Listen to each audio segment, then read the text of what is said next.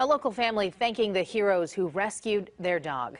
The escaped hound comes. Control for um, a loose bloodhound westbound 80. It's not your everyday police call. Cars stopped on top of the bloodhound. We're going to try to lift the car off. This sheriff dashcam video shows a car stopped on I-80 and pinned underneath a large dog.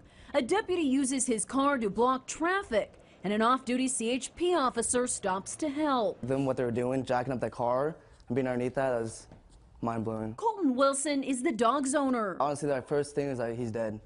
Like uh, that's honestly all I thought. But this tale has a happy ending. Meet Ruger, a 10-month-old hound dog who followed his nose a little too far from home. I looked out my second story window and I noticed there was a crazy amount of traffic. Ruger's Aunt Corinne couldn't believe her eyes. I ran outside and I went to the fence and I was yelling at the officers, hey, that's my dog. Deputy Stan Seminook himself, a canine handler, used his leash to strap up Ruger to get him to the vet hospital. And miraculously, he survived. And while I was driving there, I was like, I pray that he's still alive, and he was. That's awesome. Ruger's family is forever grateful to the men who helped. I would love to thank him personally in uh, in person, but uh, that's awesome what they did. They went up and beyond.